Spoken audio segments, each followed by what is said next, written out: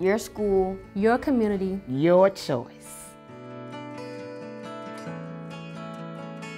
We offer a loving, joyful, focused environment where scholars can thrive um, academically as well as social and emotional. Here at Power Center Academy Elementary Southeast, our school environment is very loving and enjoyable. Because we are so small, kids get a personal relationship with everyone inside of the school. They are always doing something actively engaging. They're actually learning and they make it fun for the children.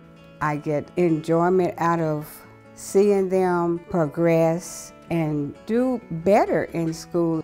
I would say that it's a great community. The teachers are very nice here. They help you learn a lot.